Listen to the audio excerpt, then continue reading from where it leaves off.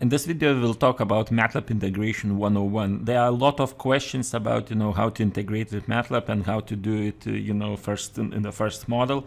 There are a bunch of videos on the usage of the MATLAB. Uh, you can find them on MBSE execution channel, but uh, we'll talk about the basic things, you know, from the scratch. So you can also find, you know, some integration steps here. You can see, docsnomagic.com and then MATLAB, you will search and you will find.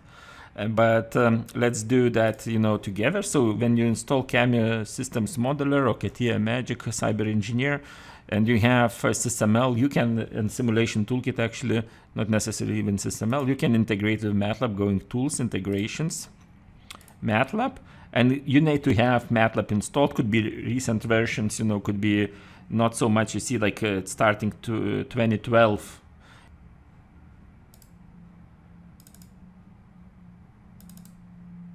MATLAB and then this folder and that's it. You can click on open and that's that's enough. You cl click OK and restart Cameo and your integration will work. One thing that actually when you're integrating uh, you need uh, right permissions to program files. So you need to start Cameo by right clicking on the icon for the Cameo right clicking on the icon uh, here again you know um, and choosing run as administrator so this is will prevent uh, you know from uh, some uh, issues where you know integration moment will not allow you to copy the files during the integration and then you will need to do it manually you know. If you need to do it manually you can find that solution on the just search by error in the documentation and you will find you know how to solve it. But um, with admin rights we will have no problems. So now let's create uh, new project and let's uh, set up the integration in the model once we have the MATLAB installed and integrated in Cameo we can start using it. So let's see how that works. And here we have uh, some uh, some uh, MATLAB uh, file. You see very simple M file which you can drag and drop you know directly. Let me open it uh, and it is using you see function to call MATLAB function, you know, this one which is declared here. You can call anything, you know, any operation of the MATLAB, not only the one which you define here. Assign some variables and add those variables to this one and add those inputs, you know, to this one and uh, uh, provide the result. That's it, you know, so kind of small one. Now let's um, create a block diagram and before actually running anything, let's check that integration works correctly. So let's go to Windows, Simulation, uh, and here choose the MATLAB as the language. And here you can access the MATLAB any function and for example version will print you know which version of the MATLAB is used here, which one is integrated as you see 2020A update 5. Now in the block diagram, so it means that it works correctly. You know, if you don't get you know reasonable response on this version when you choose MATLAB uh, as a language, you need to reintegrate it again. So now it will create you know some uh, some system which will have uh, result which is real and then maybe system will have some parts right uh, some subsystem which will have uh, I will copy this one and will rename it uh, as a, with control drag you can drag value property will be input uh, A.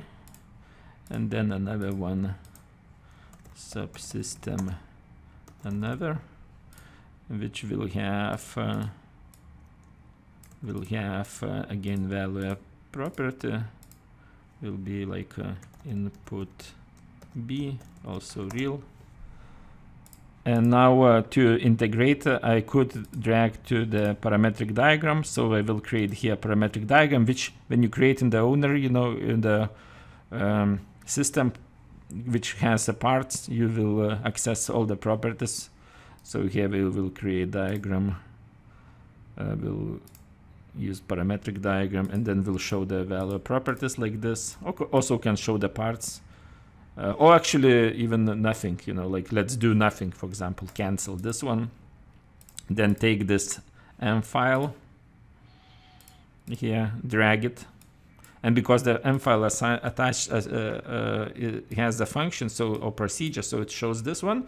You see parameters are created, language is assigned as a MATLAB, so it will call it uh, when it will execute. You know, you see the constraint block is created automatically, and also we can use equation wizard to map to the properties of the system. I will select this, click on this equation wizard, and here we have those properties i can map them you know to this so here i see the system model here we see constraint block and we'll add add to a to result e to one input and d to another input okay then click ok. So it creates the parametric diagram and we see those uh, inputs. And this is result and we can now run this one. Produces result and we can change inputs. 5 10 and we can actually store those inputs as a default values right click save to the default value save to the default value stop it run again you see result is here.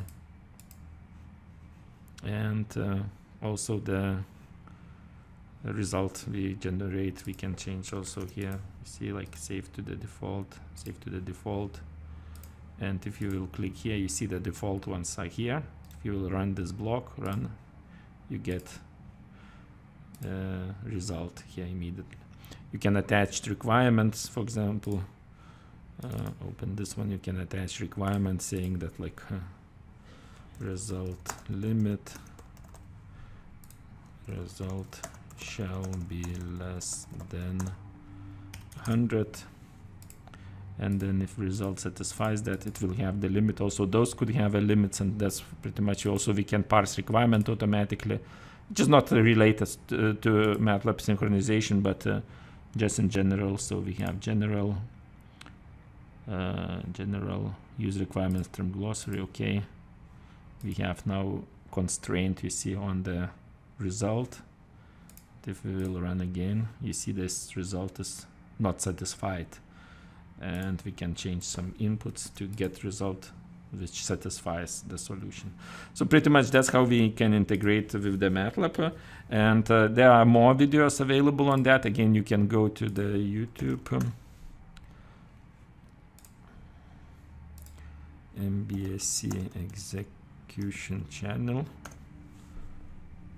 this one and That. search by the And then I will create uh, another package uh, functions. lab. You will find uh, uh, one, two, three, four, five videos uh, related to the MATLAB. And uh, also don't forget this documentation uh, here and uh, let us know if you need something uh, else on the basic level for integration with MATLAB. But that was 101 for the integration.